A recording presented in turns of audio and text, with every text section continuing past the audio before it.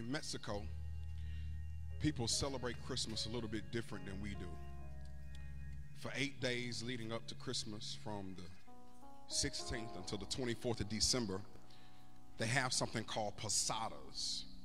And posadas are parties where Mexican people come together and they reenact the movement of Mary and Joseph down to Bethlehem to give birth to Jesus.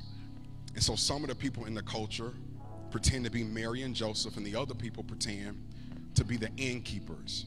And once Mary and Joseph move to the place of the party, they celebrate the birth of Jesus through eating, through drinking, through dancing, and through breaking a star shaped pinata. The origin of the pinata is in Christmas celebration in Mexico. But that's not how I was introduced to pinatas. I think Vita said it right. I'm, I'm a black and Negro. And y'all know we took the pinata and we bring it up at birthday parties, office parties, spontaneous parties. And what we do before we break the pinata is we completely disorient a person. We give them a stick, we blindfold them, then we spin them around until they dizzy. And once they're dizzy, we spin them some more. And then we all laugh as they swing and miss. You know, that picture of swinging and missing is a lot like how many of us feel this year, isn't it? Blindfolded by our burdens, swinging out of our struggles, trying to strike the pinata of our purpose, but disoriented by everything that surrounds us. This has been a disorienting year on so many levels. Politically, it's been disorienting. The last 30 days here in Georgia, we didn't just have to vote once, we had to vote twice. Disoriented, not just politically, but also economically. I don't know if you've been to the grocery store lately, but 12 eggs cost $8. Lord have mercy. Disoriented socially, where the decisions of a few affect the lives of the masses. But this Christmas, as we think about the birth of Jesus Christ, we celebrate a Savior who entered this world in his disorientation so he could reorient it.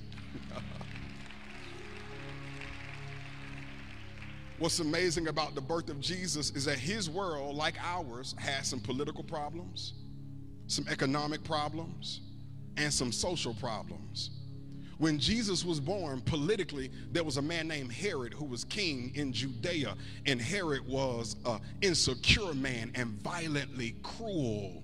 But what, what we see through the birth of Jesus is it doesn't matter what's going on politically because God is always at work spiritually. It don't matter who's on the throne, on earthly thrones. As long as we know who sits on heaven's throne, we got a reason to have hope. And let me tell you, there's not an election or a runoff needed to vote in the king of all kings. He's been king from the beginning, and he's going to be king to the very end. Economically, when Jesus was born, he was from a poor town called Nazareth. Nazareth was the wrong side of the tracks. It was on your way from somewhere to somewhere else, and Nazareth was nowhere. It was a place of about 2,000 people, no economic prosperity, a place of poverty. But what's amazing about the birth of Jesus is that God will stop in a neighborhood we'll pass by to find a woman he's going to choose to bring the Savior of the world into the world.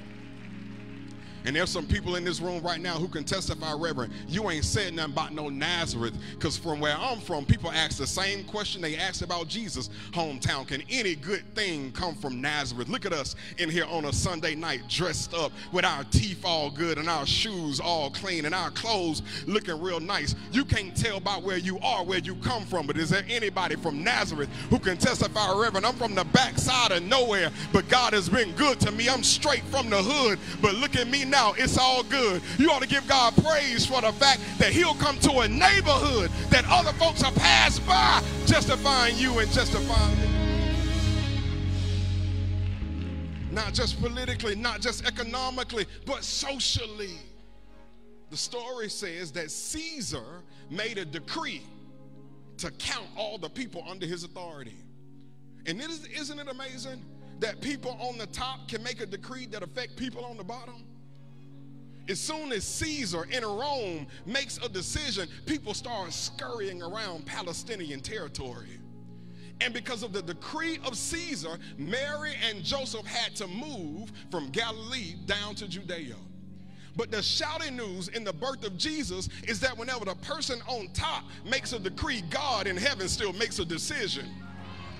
Don't you know that God used Caesar's decree to move underneath the social construct in order to turn that thing on its head? And what God shows in the birth of his son is that the last shall be first. Is there anybody who's ever been looked over or left out or left on the bottom who can testify, Reverend? That's why I celebrate in this season because I serve a God who will come and flip the script in my favor. You ought to give God praise for the fact that when they make the decree, God still makes a decision.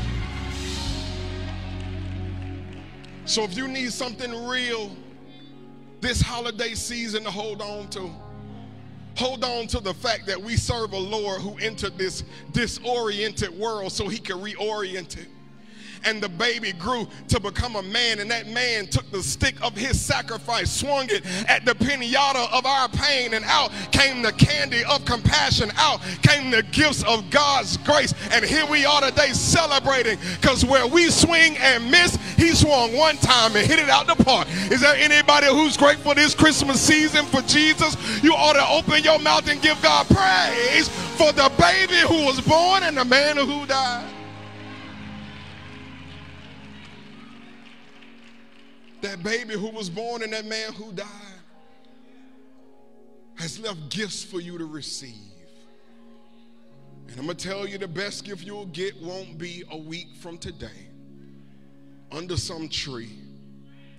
The best gift you can get 2,000 years ago hanged on a tree.